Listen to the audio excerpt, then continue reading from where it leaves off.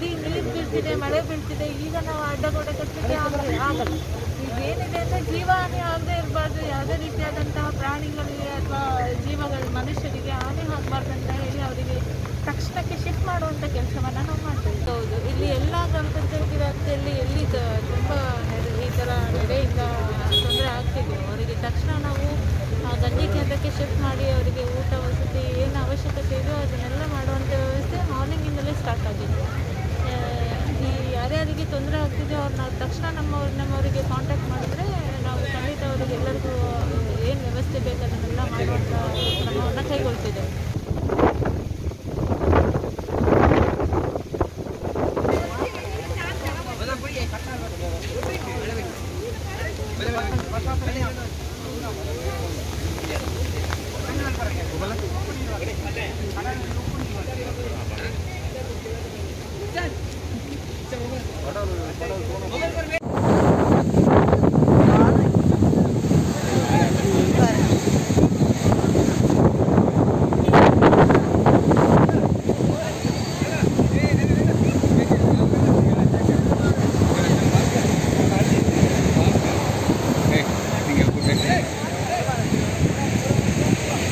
그래 뭐 올라오라고.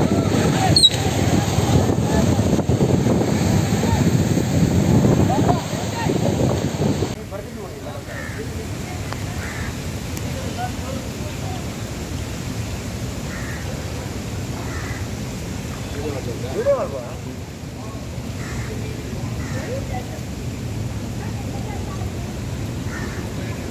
노래겠고.